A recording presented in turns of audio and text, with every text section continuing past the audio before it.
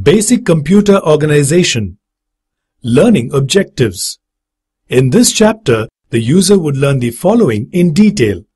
Instruction codes, direct and indirect address, timing and control signal generation, instruction cycle, memory reference instructions, input-output instructions.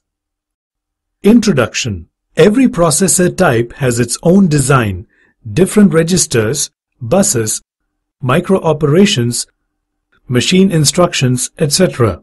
Modern processor is a very complex device. It contains many registers, multiple arithmetic units for both integer and floating point calculations, the ability to pipeline several consecutive instructions to speed execution, etc. The basic computer. The basic computer has two components, a processor and memory. The memory has 4096 words in it. 4096 equals 212. So it takes 12 bits to select a word in memory. Each word is 16 bits long. Instruction codes. Program, a sequence of machine instructions. Machine instruction code, a group of bits that tell the computer to perform a specific operation, a sequence of micro-operation. The instructions of a program along with any needed data are stored in memory. The CPU reads the next instruction from memory. It is placed in an instruction register Control circuitry in control unit then translates the instruction into the sequence of micro-operations necessary to implement it. Medium to large-scale computing systems may have hundreds of instructions. Most small computers limit the list to less than 100 instructions. Operation code A group of bits that define such operations as add, subtract, multiply, shift, and complement. A number of bits required for the operation code of an instruction depend on the total number of operations available in the computer. A portion of a machine language instruction that specifies the operation to be performed. Example, load, store, add, jump, a computer can perform operations each of which is assigned a numeric code called an opcode. Opcodes operate on registers, values in memory, values stored on the stack, input-output ports, the bus, etc. Stored program organization. A computer is to have one processor register and an instruction code format with two parts. The first part specifies the operation to be performed, an opcode, operation code, that specifies the operation for that instruction. The second part specifies an address. An address that specifies the registers and or locations in memory to use for that operation. The memory address tells the control where to find an operand in memory. Instructions are stored in one section of memory and data in another. Memory codes Stored program organization For a memory unit of 4096 words, we need 12 bits to specify an address since 212 equals 4096. If we store each instruction code in one 16-bit memory word, we have available 4 bits for the operation code, abbreviated opcode, to specify one out of 16 possible operations and 12 bits to specify the address of the operand. The control reads a 16-bit instruction from the program portion of memory. It then executes the operation specified by the operation code. Computers that have a single processor register usually assign to it the name accumulator and label it AC. Any operation that does not need a memory operand frees the other bits to be used for other purposes, such as specifying different operations. Direct and indirect address. The address field of an instruction can represent either direct address, the address in memory of the data to use the address of the operand. The operand's address is stored within the instruction word. The operand is at the location specified by the address stored within the instruction word. Example, add A. Add contents of cell A to accumulator. Look in memory at address A for operand. Single memory reference to access data. No additional calculations to work effective address, limited address space. Indirect address, the address in memory of the data to use. The operand's address is stored within another memory register whose address is specified within the instruction word. Memory cell pointed to by address field contains the address of pointer to the operand. Example, add A. Add contents of cell pointed to by contents of A to accumulator. Large address space. Effective address EA. The address that can be directly used without modification to access an operand for a computation type instruction or as the target address for a branch type instruction. Timing and control. The timings for all the registers is controlled by a master clock generator.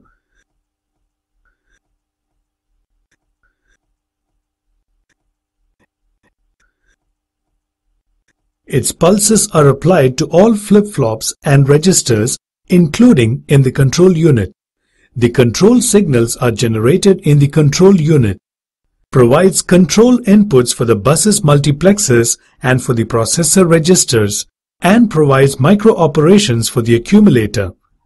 Control unit CU of a processor translates from machine instructions to the control signals for the micro operations that implement them. Types of control unit there are two types of control. Hardwired control. Control unit is made up of sequential and combinational circuits to generate the control signals. Microprogrammed control. A control memory on the processor contains microprograms that activate the necessary control signals. Hardwired control unit. It is implemented as logic circuits, gates, flip-flops, decoders, etc in the hardware.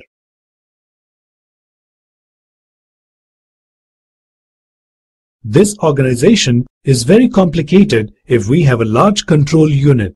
In this organization, if the design has to be modified or changed, requires changes in the wiring among the various components. Thus, the modification of all the combinational circuits may be very difficult. Hardwired control unit architecture shows the architecture of hardwired control unit.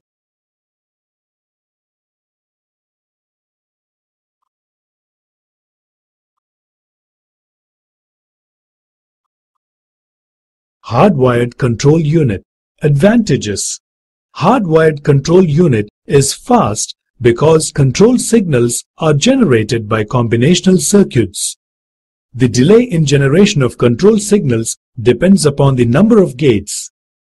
Disadvantages More is the control signals required by CPU, more complex will be the design of control unit. Modifications in control signal are very difficult. That means it requires rearranging of wires in the hardware circuit. It is difficult to correct mistakes in original design or adding new feature in existing design of control unit. Microprogrammed control. A microprogrammed control unit is implemented using programming approach. A sequence of micro operations is carried out by executing a program consisting of micro instructions. Microprogram consisting of micro instructions is stored in the control memory of the control unit. Execution of a micro instruction is responsible for generation of a set of control signals. Microprogrammed control architecture shows the architecture of microprogrammed control architecture.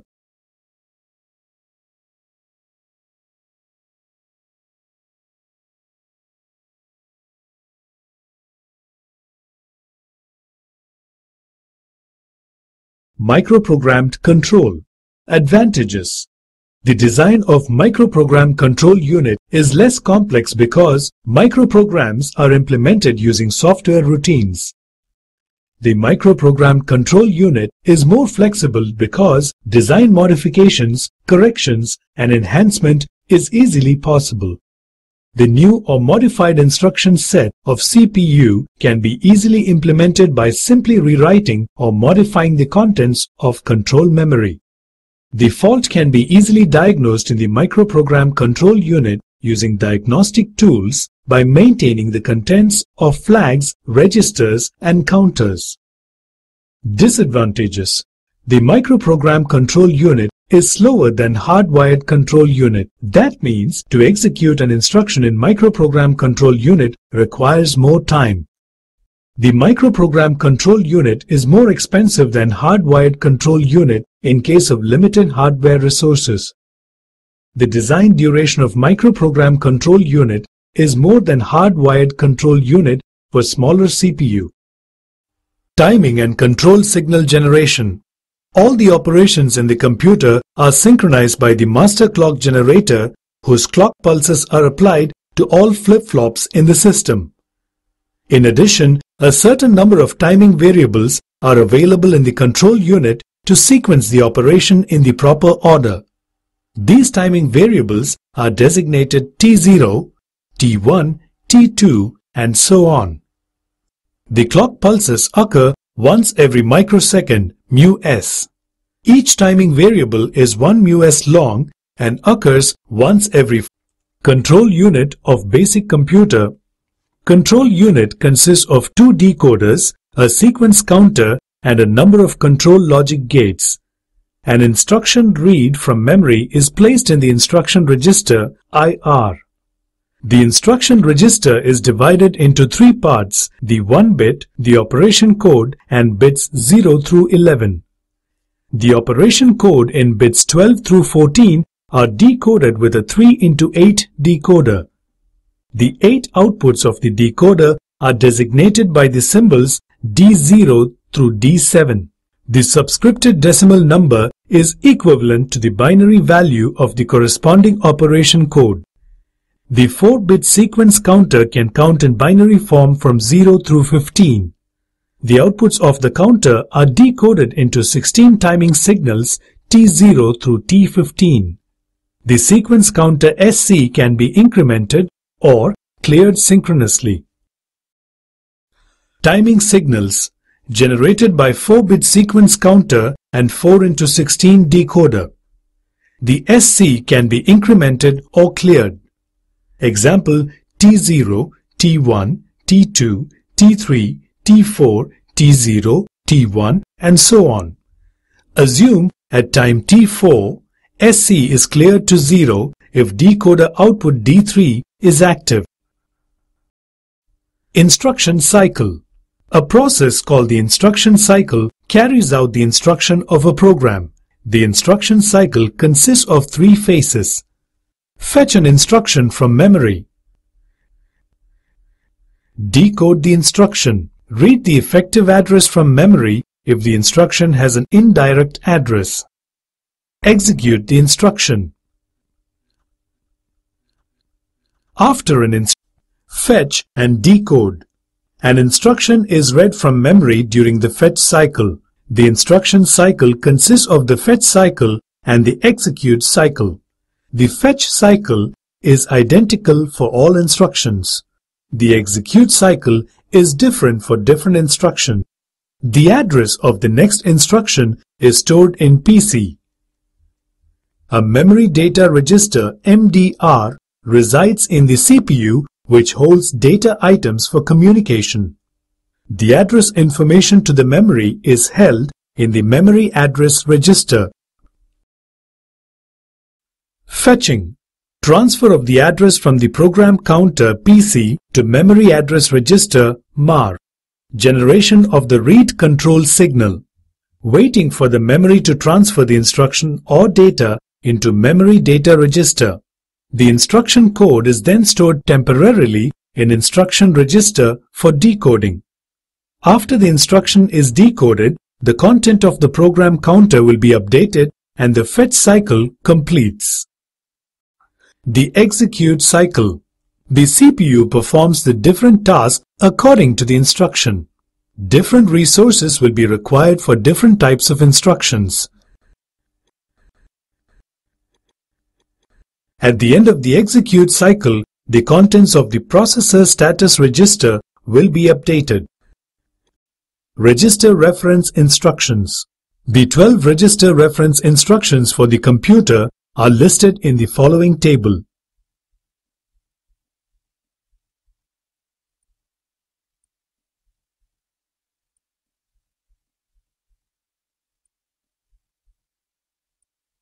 Each register reference instruction has an operation code 0110 hexadecimal 6 and contains a single 1 in one of the remaining 12 bits of the instruction.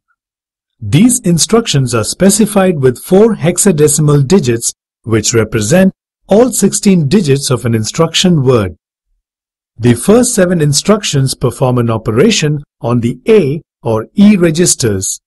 The next 4 are skip instructions used for program control conditioned on certain status bits. To skip the next instruction, the PC is incremented by 1 once again. The first increment occurs when the present instruction is read. The halt instruction is usually placed at the end of a program if one wishes to stop the computer.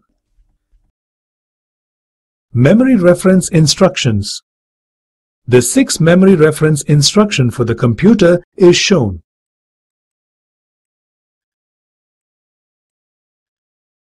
The 6 memory reference instruction for the computer is the symbolic designation is a three-letter word and represents an abbreviation. The hexadecimal code listed is an equivalent hexadecimal number of the binary code adopted for the operation code. A memory reference instruction uses one hexadecimal digit, 4 bits, for the operation code. Remaining three hexadecimal digits, 12 bits, of the instruction represent an address. AND to A. This is a logic operation that performs the AND operation on corresponding pairs of bits in A, with the memory word M specified by the address part of the instruction. The result of the operation is left in register A, replacing its previous contents. Add to A. This instruction adds the contents of the memory word M specified by the address part of the instruction to the present contents of register A. If addition done for negative numbers are in their 2's complement form, the end carryout of the sign bit position is transferred to the E flip-flop. Multiplication is achieved by adding and shifting. The add instruction must be used for loading a word from memory into the A register. This is done by first clearing the A register with the register reference instruction CLA. Store in A.